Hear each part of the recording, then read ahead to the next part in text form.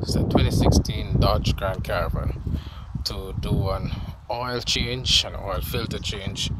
Our first thing we need is a size 8 size 8 socket to remove this um, bolt so you can take the air box off and the purpose of taking the air box off is to get to this filter housing right here on the filter housing to remove that filter housing you will need a 15 16 you need a 15 16 um, socket.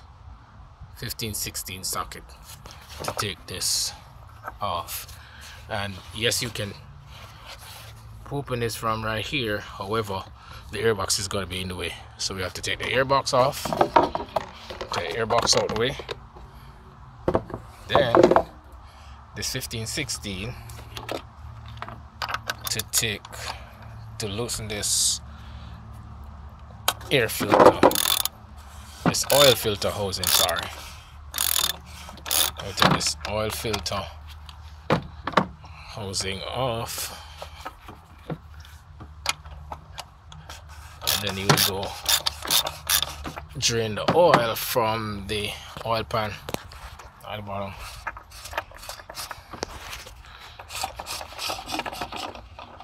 So that's easy. This is what the oil filter looks like.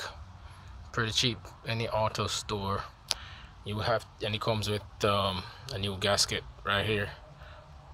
See this new gasket seal? Or we'll, we'll replace that we'll replace that shortly with a new gasket.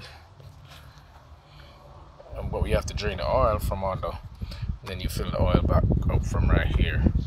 And it says 5w20 it takes six quarts but you put five and a half and keep driving keep testing until we get there